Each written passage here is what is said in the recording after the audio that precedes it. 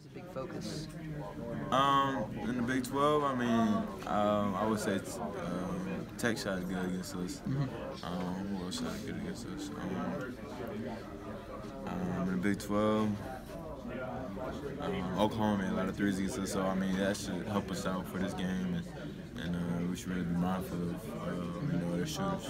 Do you guys feel like you're more well equipped to handle like a motion type offense or anything like that? Um, yeah, I feel I feel like we're, we're more equipped. Uh, we, have uh, been working all week um, practice um, about what they do.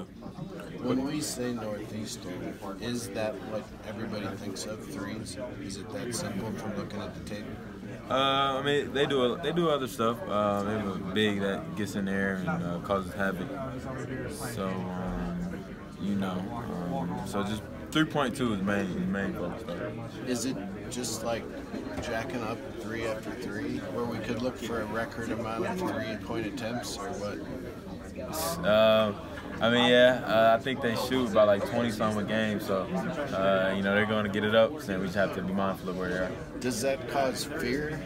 And then I know it will with the fans, but you, you know how dangerous the three is.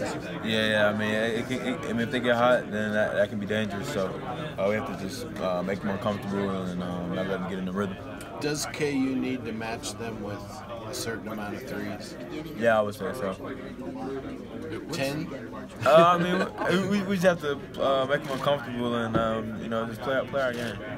What, what sticks out about the, the way they approach it and how, how they get open for those shots? What are the, the actions? That uh, they run a lot of fade screens, um, you know, just a lot of just misdirection stuff. So you just have to be aware of that. If you know a team like going into this game, if you know they're going to be looking for threes, is it about trying to deny them the opportunities or just bothering them? Like what goes into it when you know that they're going to be looking for a lot of opportunities?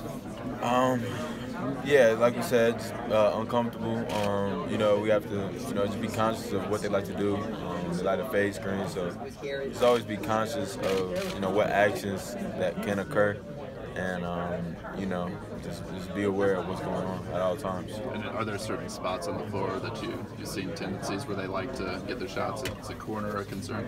Uh, yeah, they, they, like they like it from the corner. Um, they like it from the roll up out, um, out of the pick and roll.